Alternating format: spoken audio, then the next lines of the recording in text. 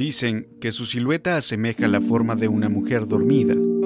Durante el conflicto armado, la guerrilla lo consideraba una flecha en el corazón del enemigo.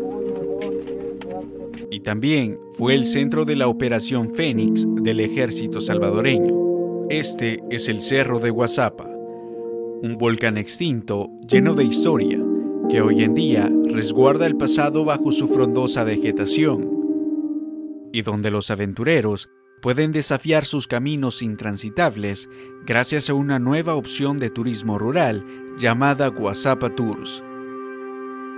Eh, acá nos encontramos en el kilómetro 7 de la carretera Suchitoto Aguilares, que es el punto de partida hacia el volcán Guasapa, en la comunidad que se llama Sitio Zapotal. En 2005 hubo una publicación sobre el cerro de Guasapa. Bueno, y encontramos el reportaje y vimos y nos pareció interesante reunimos unos jóvenes, dijimos, miren, aquí está una oportunidad. Leímos el, texto que había publicado este periódico y dijimos, está el potencial acá, tenemos la historia, estamos nosotros, podemos hacer algo. Empecemos, empezamos de cero.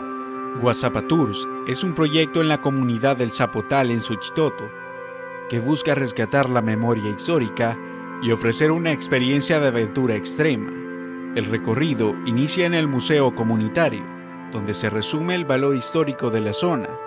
Antes de comenzar la caminata, los visitantes tienen la opción de elegir entre montar a caballo o utilizar un vehículo pick-up, hasta llegar a la primera etapa del recorrido. Esta aventura está dividida en etapas, donde se pueden explorar los cultivos comunitarios, el campamento guerrillero y el cementerio de los civiles que perecieron en el cerro de WhatsApp. Este es un pequeño cementerio uno de tantos, ¿verdad?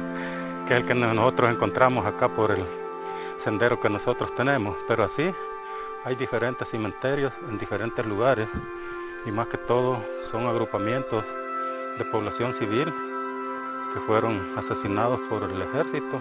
Los tatús son otro punto destacado del recorrido y estos eran refugios utilizados durante la guerra civil salvadoreña. Sí, este aquí es como para defenderse de las bombas. ¿no?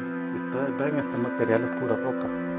Costó mucho perforarlo, pero ya con ganas de defender la vida, va, todo el mundo venía para adentro y aquí se mantenía durante lo que duraba el, el borbandeo.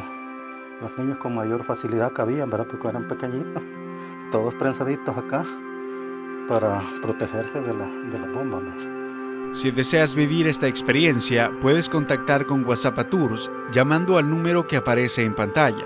Y así, conocer a la mujer que yace dormida en el cerro de Guasapa, informó para la prensa gráfica Vladimir Fermán.